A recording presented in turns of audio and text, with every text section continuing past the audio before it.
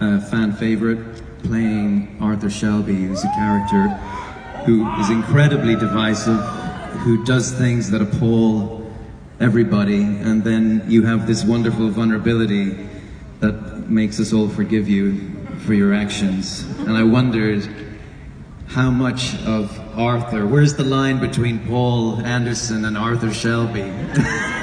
Sometimes I don't know, but you've really made that character your own, and it's a, it's uh, it's quite an, it's quite a creation, um, and I'd love you to talk to everybody a little bit about that.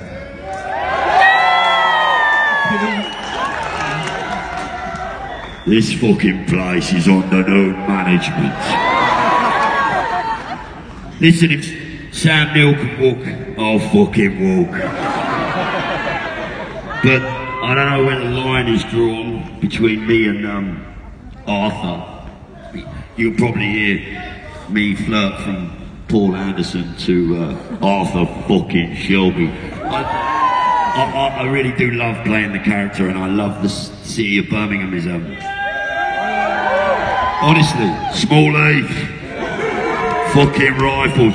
I just wish my brother Tommy was here, or Cillian was here, but or, or Joe, John Boy. But uh, the line, yeah, right now I don't know who I am, but fuck it.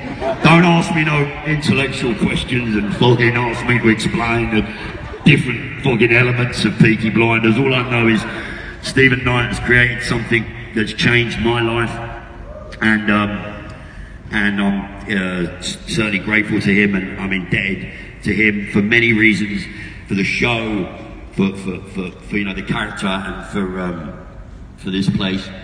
So. Uh, I'm just gonna have another fucking walk up this way, you know what I mean?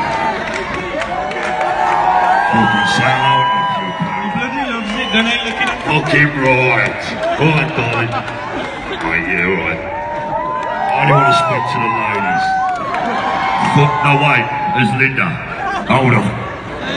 I won't tell Linda what I'm doing up here. Well, that's it. So thank you all. Thanks for coming.